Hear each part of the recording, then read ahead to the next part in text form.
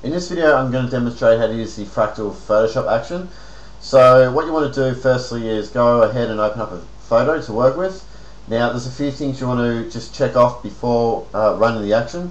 So make sure your background is, uh, your layer is set as a background so it should look like this. If you open up your photo and it's not called background and doesn't have that lock symbol, just go to layer, new, background from layer and it will set it as a background. Next in your layer panel, uh, just go to this top right hand corner icon and go to panel options. Just make sure add copy to copied layers and groups is selected. And next go to the image menu, uh, go to mode, make sure you're in RGB color mode and 8 bits of channel is selected. And lastly just make sure that you're working with a uh, good size photo. Okay. So with that done, we need to light up our actions. So let's go to the window menu, select actions. The actions panel will pop up here to the right. Select this, this top uh, icon and go to load actions. Then select the fractal.atn file. Okay, so there we have our folder with all the different directions we can choose from. So next we need to create a new layer and it needs to be called brush. It needs to be all lowercase, otherwise the action won't work. And on this layer, so have the brush layer selected, you want to hit B on the keyboard, grab a grab your brush tool and select the color. You can choose any color. And you want to brush over your photo. Okay, so this is the part where uh, we're going to be applying all the effects. And so I've just done one a little earlier, so make this a bit quicker. So you can see that I've brushed over my subject here and that is pretty much ready to go. Now one thing you want to uh, just remember when using this action is uh, just notice your canvas size. So for example, I want all these effects to go down uh, underneath him, so I want more space down the bottom here. So what I'm going to do, I'm going to go to image, uh, canvas size. Uh, next, I'm just going to hit this top arrow because we want to uh, add some extra pixels going down. And under the height, I'm just going to change that to pixels, and I'm going to add an extra say 500 pixels. Might add a bit more.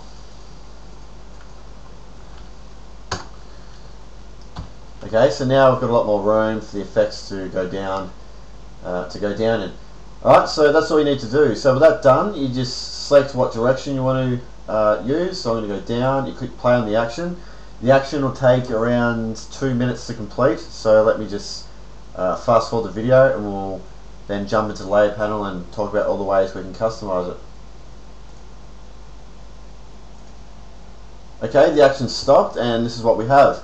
So let's go ahead now and go into the layer panel. So minimize the action panel and a quick way to collapse all these folders uh, is if you hit, if you hold down Control Alt and click on say the top folder here, the adjustments arrow, Control Alt Command Option on a Mac, click on that and it will uh, quickly collapse all the folders. Okay, so let's start from the top, go inside the adjustments folder. So here we have our brush layer, so this is the area that we brushed. You can see that all the effects uh, have gone down around the area that we brushed.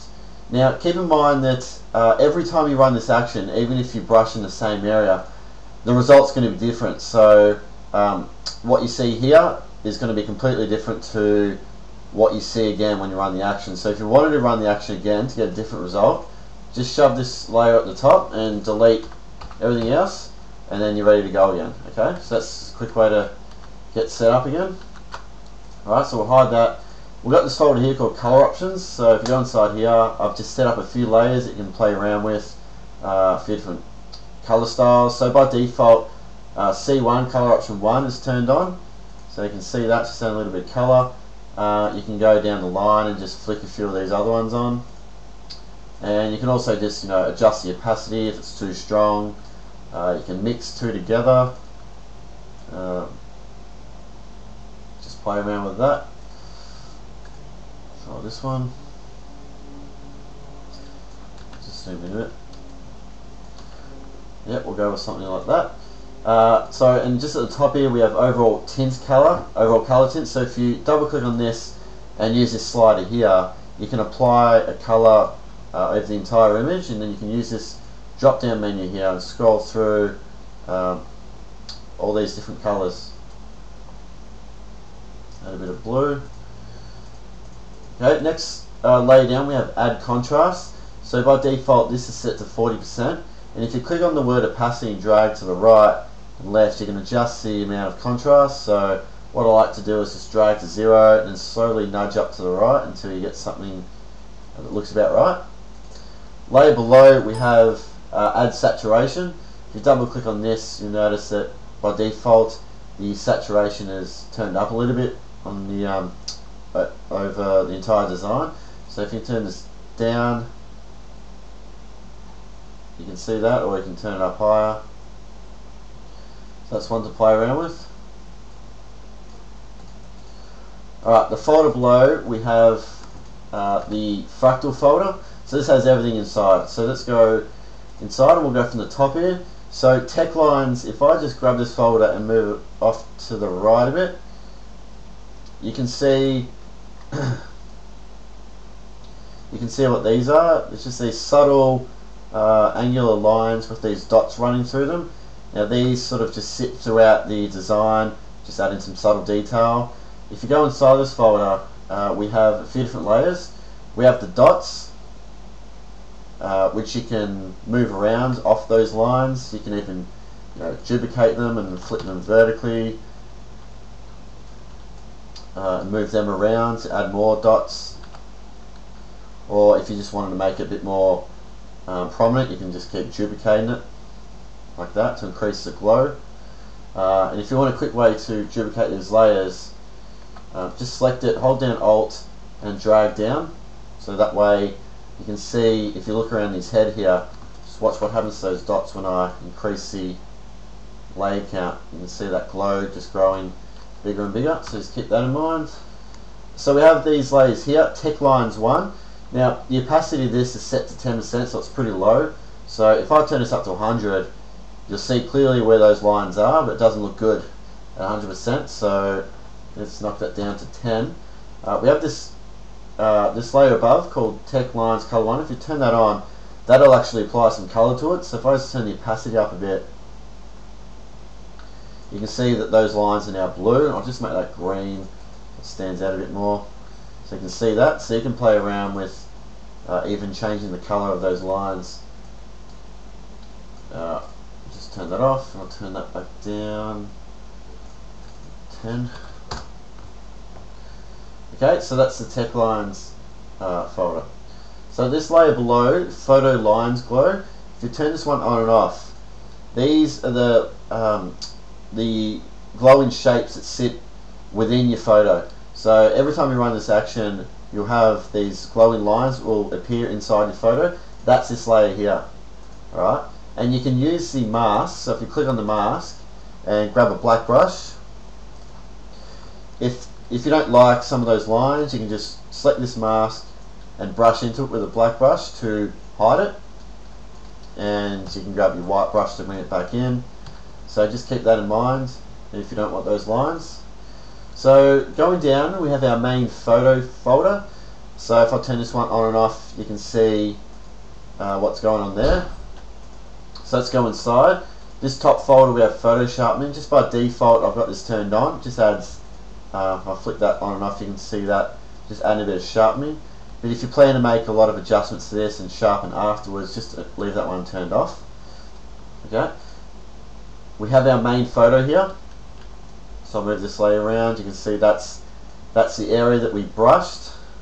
Uh, let me just demonstrate that. So that's the exact area that we brushed. So we've extracted that from our background, and we have that sitting here. Now you'll notice that he looks all cut up in areas, and it's part of the overall effect. Uh, you can see sort of holes down here in his leg and through his stomach. You can see his shape sort of popping out.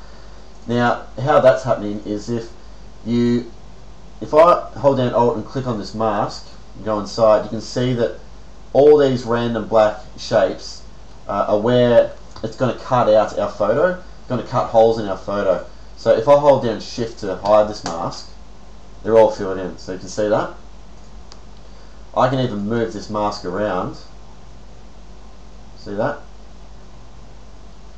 So keep that in mind that if you run the action and uh, say for example I've got all cuts on his face, so I'll just move that over his face. Say for example I've just run the action and this is the result that I got and I notice that his face is all distorted. What I would do I would just select this main photo mask grab a black brush oh sorry white brush and just brush that away. So that so now that's completely gone. Okay so I got good control there. Another little tip uh, what I like to do with this action is if I select the, the um, photo folder mask and I fill this uh, with black. I hide I temporarily hide the photo but what I can do you can notice that it's still left some cool little bits and pieces around. You can still subtly make out where our uh, model was. So I can grab a white brush and now just brush in where I want him to appear. So maybe his torso I want that to be completely gone and just have the effects there. Maybe his arms visible and his leg just visible. Something like that. So you can get really creative where your photo actually appears. Uh, you've got a lot of you've got a lot of control uh, in that area.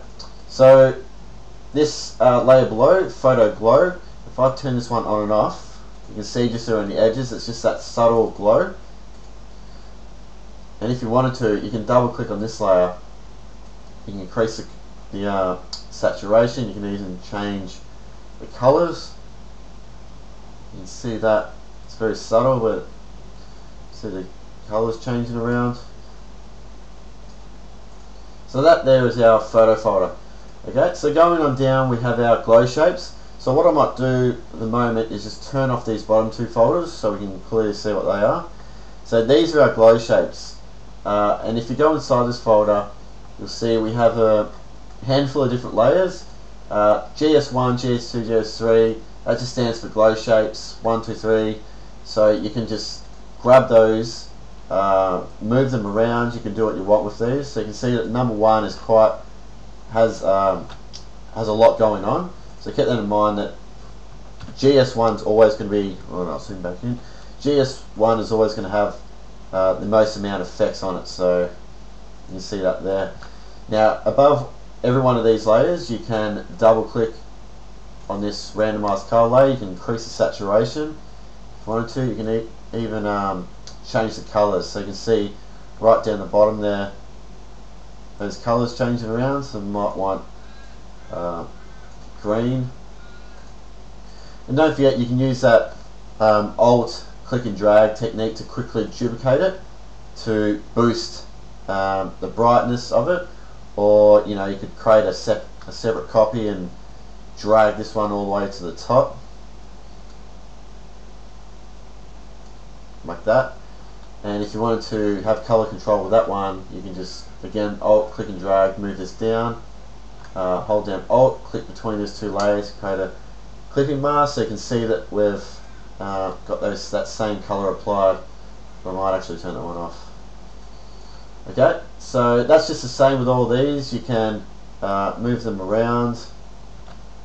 If you find that it's too heavy, there's too many effects, just turn these layers off one by one and you can see which ones um, uh, are doing what. Okay? So I'll turn those back on. Now one way to keep in mind that when the uh, when the action has finished. This one here, GS5 blurred, this one is always going to be a bit bigger and it's always hangs out to the side of it because these are blurred copies. So uh, you can see that. So you can scale them up higher if you want make them bigger. You can even blur them out more. So I can go filter blur Gaussian blur filter them out more. Okay so that's the glow shapes folder. So the next folder down is called broken parts. So I'll turn this one off for the moment and then turn this one on. So you can see that broken parts are really just um, your photo all sliced up and moved down in direction in the direction that we chose. So if I go inside this folder, um, again we have some different layers, P1, P2, those stand for broken parts or parts 1. So what I've done here, I've added a um, a solid color fill layer above each one of these so you can quickly flick this on firstly you can use that to identify where those uh, shapes are appearing and secondly you can actually use that as a cool way to sort of colour, um, you know, those parts. So you can manually, or you can move them manually if you want, like that. You can even change the blend mode of um, the colour here, so like overlay, get different result. Hard light, it's pretty cool. And that's the same with all these, so I can just flick this one on. See purple looks pretty cool. That's probably a bit too much. Uh, and again, if you say you wanted to keep that layer, but sort of you can erase a bit, so just hit E on the keyboard and say I don't want these. Something like that. We'll keep that one off.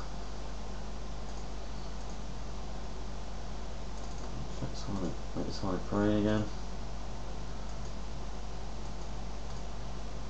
So you can have a lot of fun sort of colouring these shapes and moving them around. Don't forget to duplicate them, rotate and scale them um, to build up the design even more. Uh, this one here by default is turned off, P6 large plus blurred. If I turn this one on, uh, it's one that you probably want to have a bit more manual control over. It's these one of these shape layers duplicated and scaled right up to uh, give the illusion that the parts are sort of flying flying towards the uh, screen. So you can turn that one on and play around with that if you want. Uh, yeah, so now we'll go ahead and turn this one back on. You can see how those two layers now blend together to help build the effect. So light effects, uh, if I turn this folder back on, this just has some two layers in it, has some subtle effects. The first one is called zoom light. Uh, you can see at the top here around his head and shoulders that light appearing. I'll just move the layer up. You can see that effect there. Uh, if I duplicate the layer, uh, you can see that it really increases the um, the prominence of it. So you can play around with that. Uh, this one here, motion light, you might not be able to notice that much here, but it, it appears in the direction that you chose to run the action. So if I move this layer down to the corner, you can see that those vertical lines, they sort of run through all these shapes here just to help uh, with the overall effect. So layer here below we have the background color. So if you wanted to have all the effects just sit on top of your original photo, you could turn that one off. And you can see that, uh, well that's where excuse me, that's where I extended the canvas down the bottom here.